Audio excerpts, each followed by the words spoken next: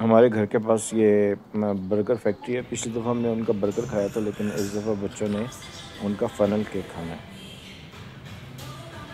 इनका कितना huge funnel cake है। और प्राइस क्या है इसकी? ऑलमोस्ट ट्वेंटी डॉलर्स का टैक्स डाल के ट्वेंटी डॉलर का बट मैंने तो नहीं खाया, लेकिन बच्चों ने बहुत इन्जॉय करके खाया। एक्चुअली मैंने एक बाइट ली थी।